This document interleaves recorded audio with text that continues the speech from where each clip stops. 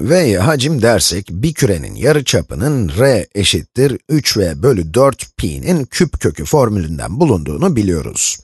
Şimdi bu enteresan çünkü normalde hacim yarıçap cinsinden gösterilir ama burada yarıçapı hacim cinsinden göstermişler.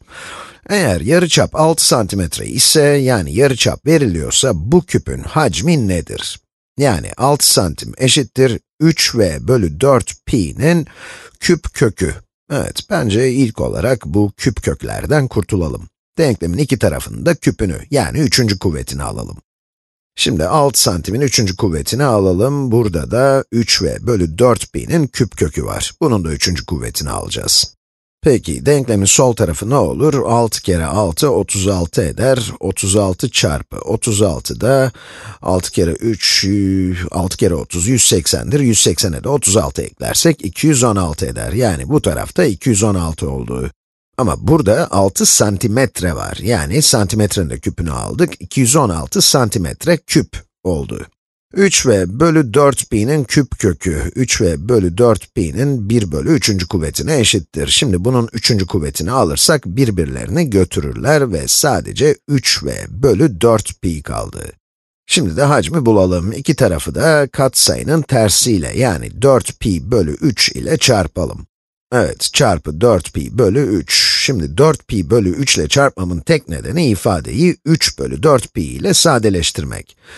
Burada da 4pi ile 4pi sadeleşir, 3 ile de 3 sadeleşir, yani birbirlerini götürdüler. Demek ki hacmimiz 4pi çarpı 216 bölü 3'e eşit olacak. Şöyle yazabiliriz. 216 çarpı 4pi bölü 3. Evet, şimdi bunu sadeleştirebiliyor muyuz? Ona bakalım. 216 3'e bölünür mü? Evet, 2, 1, 6 topladığım zaman ne eder? 9 eder. 9 3'e bölünebildiğine göre 216 da 3'e bölünebilir. 3'e bölünebilme kuralını hatırlıyorsunuz umarım. Şimdi ne olduğuna bakalım. 216 3'e bölünür dedik. 21'de 3, 7 kere var. 3 kere 7, 21. 6'yı aşağı indirdik. Evet, 3 kere 2, 6. Kalanımız yok. Demek ki 72 etti. Yani 216 bölü 3, 72'dir. O zaman 72 çarpı 4pi hacmi eşittir. Ve birimi tabii santimetre küp olacak. 4 çarpı 72 ne eder? 4 kere 7, 28, 4 kere 70, 280 eder. 4 kere 2 de 8 eder. Yani 288 pi santimetre küp. Bu da hacmimiz ve işte bitti.